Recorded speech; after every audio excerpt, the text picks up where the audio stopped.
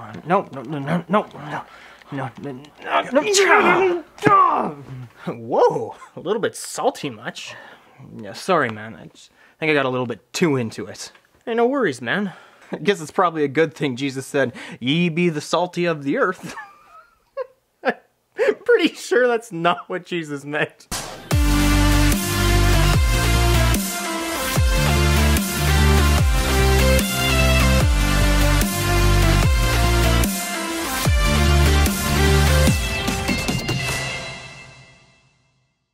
Hello there, I'm Aidan, and welcome to A Pastor's Life for Me. topic that's come up quite often on this channel is us being lights of the world. I mean, we're five videos in and I've already talked about it twice. This comes out of Matthew chapter 5, verses 14 through 16. So I thought to myself, maybe, just maybe, we should look into this topic.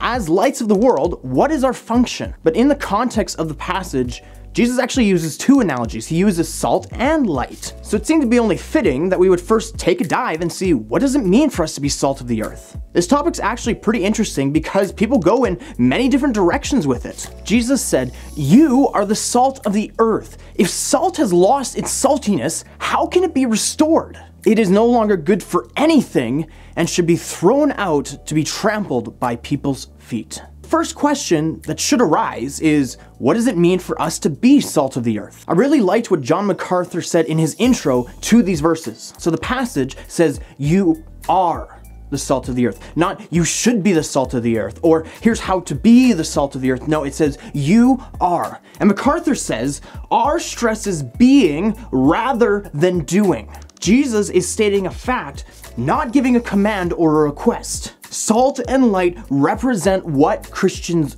are. The only question, as Jesus is going on to say, is whether or not we are tasteful salt and effective light. The very fact that we belong to Jesus Christ makes us salt and light of the world. So the question is not, are you going to be salt and light, Rather, are you going to be faithful as salt and light? Now, salt was very important to the ancient world. In fact, during the Roman Empire, Roman soldiers would often be paid in salt.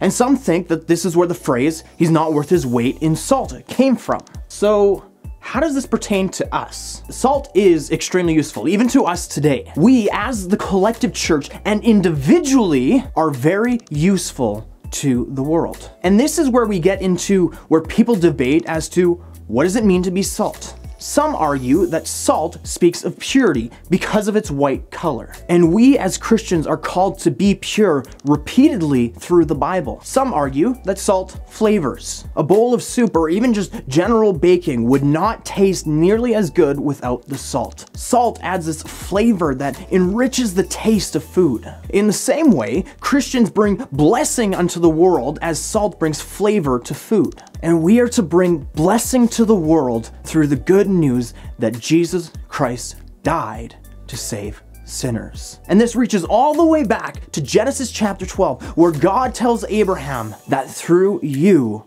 all the nations of the world will be blessed. And so, like salt flavors food, we as Christians bring blessing to the world. Some argue that salt stings. And this is where I found it to get really interesting. Salt actually has a bunch of medical benefits. Our bodies need salt to survive. When you go to the hospital and you get an IV in your arm, they will usually give you saline. And saline is a mixture of sodium chloride, salt, and water. It's used to stop you from becoming dehydrated, as well as it keeps your electrolyte levels up. It's also used to clean wounds, it's used in eye drops and nasal sprays and other things. They say that people who go sailing on bodies of salt water rarely get colds because of the salty moisture in the air. So salt has many medical benefits. And this relates to us because we are the only ones who know where the true source of healing comes from. It is not an outward healing that the world needs, but an inward one. And often when we try and bring healing to the world by sharing the gospel, it stings. It stings those whom we share it with. They have a wound that desperately needs healing. But because they either don't believe that they have a wound or the sting of the truth turns them away, they do not come to the only source of true healing there is. And they desperately, desperately need it. Some argue that salt creates thirst. If you get stranded in the middle of the ocean or on a remote island, one of the worst things that you can do is drink salt water. The salt in the water will make you dehydrate faster than if you didn't drink it. Your body needs to produce more water than it actually has to be able to filter that salt water. And that salt water will give you a greater thirst. As the salt of the earth, we create thirst in others. Jesus says to the Samaritan woman in John chapter 4 Whoever drinks the water that I give will never thirst again. Jesus is the living water, and it's only through him that we can be saved. When we live as we are called to, we will cause people to be thirsty for the only water that satisfies. And just like healing, people are gonna react negatively to this. They will either deny that there is even a thirst, or they will turn to the things of this world to quench their thirst. But ultimately, they are drinking poison and rejecting the only water that can save them. Everybody has a wound, and everybody is thirsty, but Jesus is the only one who can satisfy.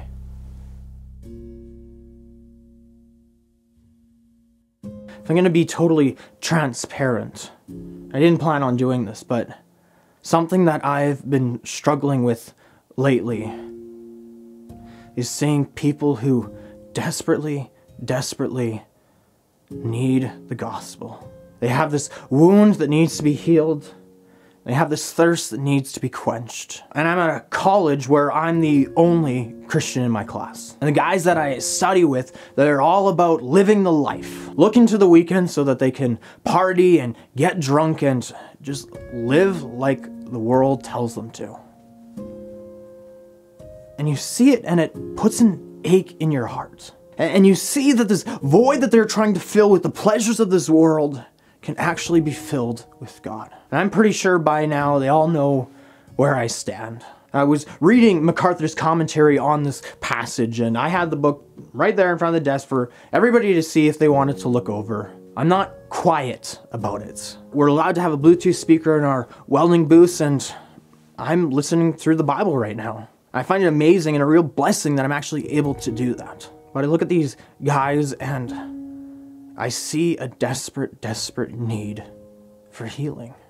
And it's hard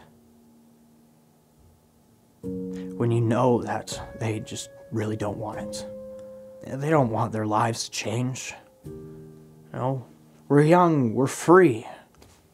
But if you could keep me in your prayers as I try and witness to these guys and, you know, try to tell them about the gospel, place a little bit of salt in their wounds. Give them a little salt in their drinks to make them thirsty. Wherever you go, be the salt and the light of the world. Because the world desperately needs Jesus. There are those who will feel the sting of their wound from the salt, and those who will feel the ache in their throat from the thirst, and they will come to Jesus for healing.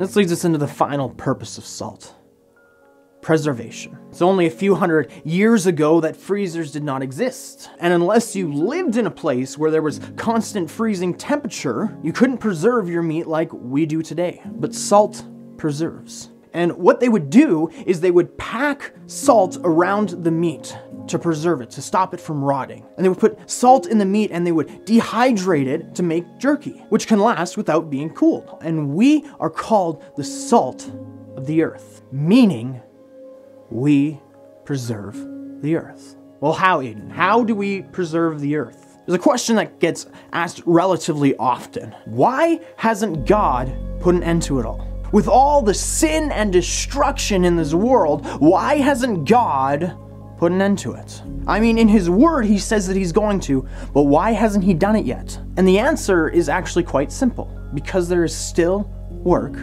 to be done.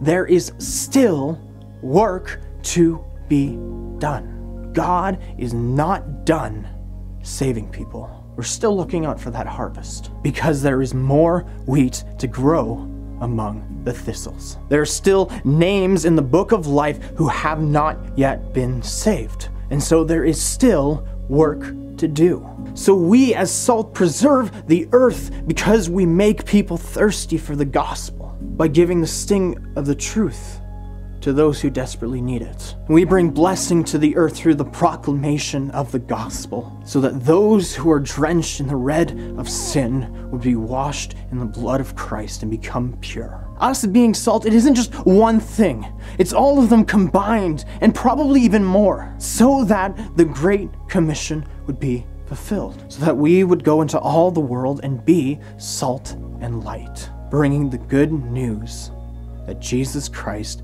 died to save sinners like you and me. So, what does it mean to be salt? It means that our very lives are a testimony of the gospel and of God's abundant grace. We're a testimony to the whole world. And that is something we're going to dive into in our next video in part two of this series on what it means to be salt and light.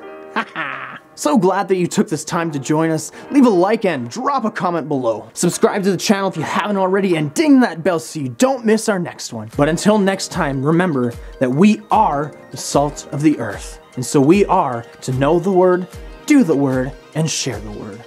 But as always, we do it in love.